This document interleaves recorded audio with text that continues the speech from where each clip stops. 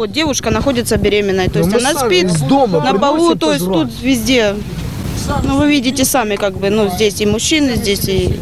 Здесь нету ничего, ни воды. Единственное, что туалет поставили и то, в который нельзя зайти. А ще немає дворазового харчування, як обіцяли, медичного обслуговування та якогось, хоч елементарного людського ставлення. Безхатьки кажуть, усе це з'являється за деякий час до приїзду знімальних груп і керівників міста. Тоді в наметі свято. Для мэра, да, делали показуху. Когда Куличенко был здесь, да, все, кормежка была, все нормально, да. А так привозят, заходит к нам ихний начальник или кто, я не знаю, говорит, а что, говорит, где тушенка? Бутерброди з паштетом, кажуть, з'явилися не за доброю волею чиновників, а за простим розумінням городян. Мешканці міста допомагають хто чим може. То хліб принесуть, то одежу. То люди неимущие даны нам Богом для чего? Для того, чтобы мы могли все-таки, по крайней мере, хоть немного стараться им помогать. Очень много вещей, как бы вещи теплые, э, для того, чтобы люди могли все-таки, по крайней мере, хоть немного в эти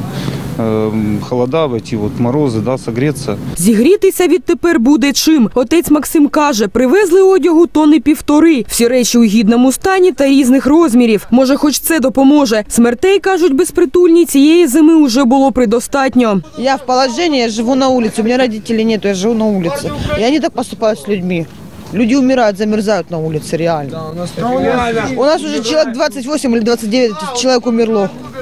на улице. На улице, за это время в Днепропетровске, да. А ще безхатченки скаржаться на правоохоронні органи. Навіть у люті морози, які нещодавно минули, міліціянти безжалісно виганяли безпритульних на вулицю з приміщення вокзалу або цілодобових кас.